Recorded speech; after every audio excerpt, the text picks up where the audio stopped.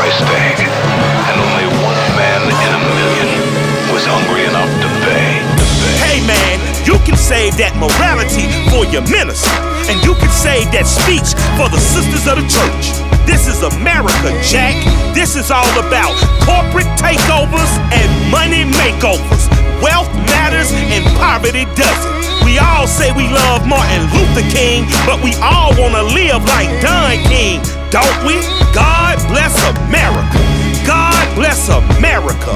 Home of the Rockefellers, home of the Carnegies, home of the end justifies the mean, legitimized through larceny.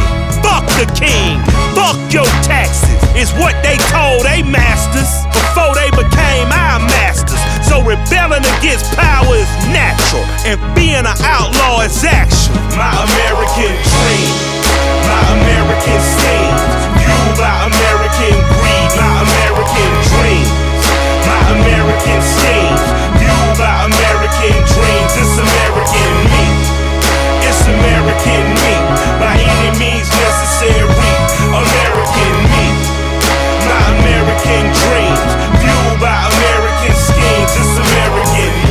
in America, the crooks get the castles.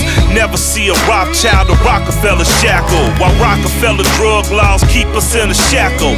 Eventually, this weed will be as legal as tobacco. By then, every CEO I hope will be a black though.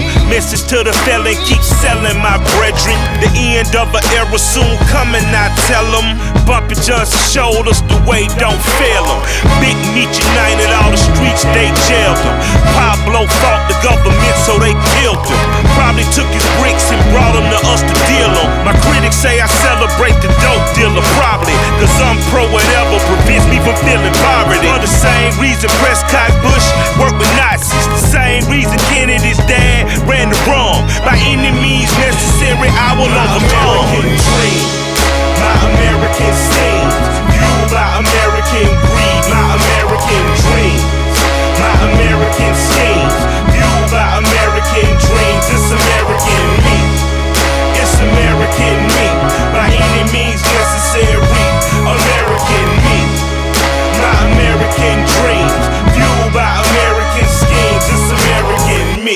Become a sociopath, flipping birds. The same mind state it takes to build a Bilderberg or an Enron or any other Bitcoin that could fleece a million people out of billions. I'm trying to get a cheaper price, you know, a bigger bag. Mexican work, how American is that? As American is steering in a German car, fucking a Russian chick snorting coke from Colombia. Colombia. Colombia. Colombia. Colombia. Colombia. Colombia.